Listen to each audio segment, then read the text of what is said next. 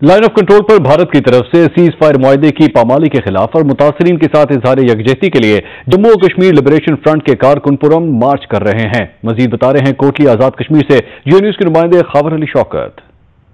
जी, Jammu Kashmir liberation front आज भारत के खिलाफ पुरमन मार्च कर रहे हैं। ये मार्च बेसिकली जो है भारत की तरफ़ से सीज फायर लाइन माहे के खिलाफ वर्जियों के खिलाफ किया जा रहा है। इस वक्त बड़ी तादाद में जे के एल एफ़ के गाड़ियों पर सवार होकर काफिले की शक्ल में यहाँ से मूव कर रहे हैं। इस वक्त जो है ये पुरमन मार्च है, ये लाइन ऑफ़ कंट्रोल के मुख्तलिफ़ जो इलाके हैं, करीबी इलाके हैं जिनमें नकियाल, गोई तथा पानी मंडोल से होता हुआ हजीरा में, के मुकाम पर वहाँ पर जाकर एहतमाम पदीर होगा।